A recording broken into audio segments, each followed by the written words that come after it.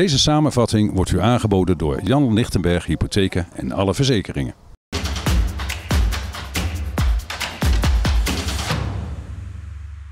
Welkom bij Excelsior 31 TV. Excelsior 31 ging afgelopen zaterdag op bezoek bij Harkema's Boys. Harkema's Boys heeft één punt minder dan Excelsior 31. De verliezer van vandaag komt dus onderaan op de ranglijst.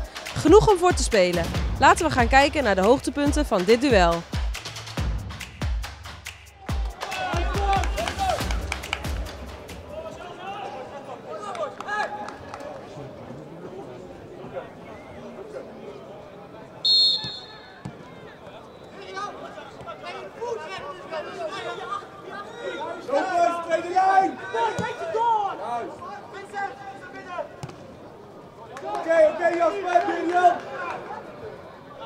Let's go.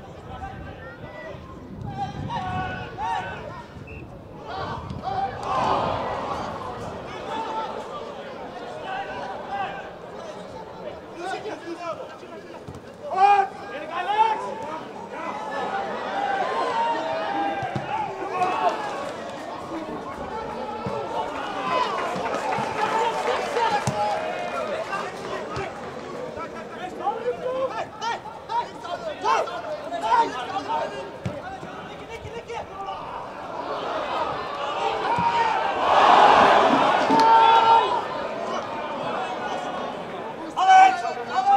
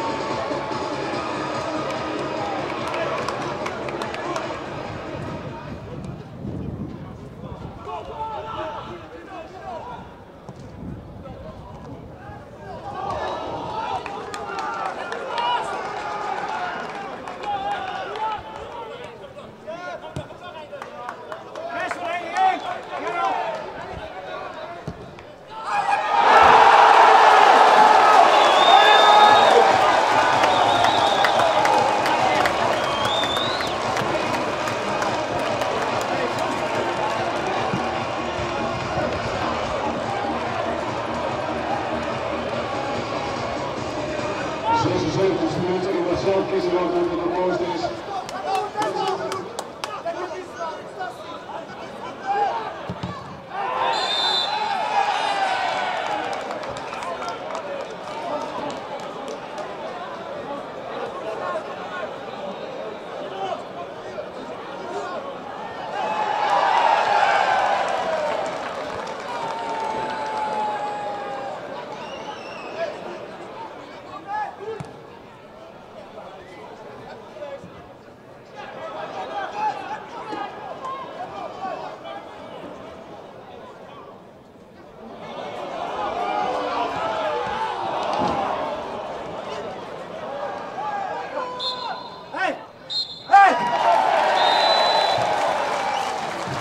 van de wedstrijd. Hartwas Boys Excelsior 31 2-0. Wij danken het arbitrale trio van vanmiddag. Stefan Dekens spelen thuis tegen Stevakko. Graag tot dan dus zaterdag 12 november 2022. De thuiswedstrijd tegen Stevakko.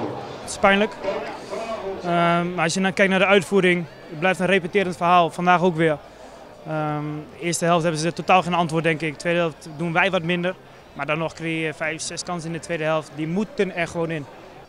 Ja, en na zo'n wedstrijd tegen ADO, hè, waarin het eh, geweldig was, ehm, trekken we dat, vind ik, vandaag ehm, ja, echt door. Alleen ja, wat je zegt, wat moet er anders? Goals maken. Ja, maar toch, ja, ik wil er niet ei- eindeloos over doorgaan. Maar als we over vijf, zes wedstrijden zeggen van eh, we hebben heel veel kansen gehad, maar we staan nog onderaan.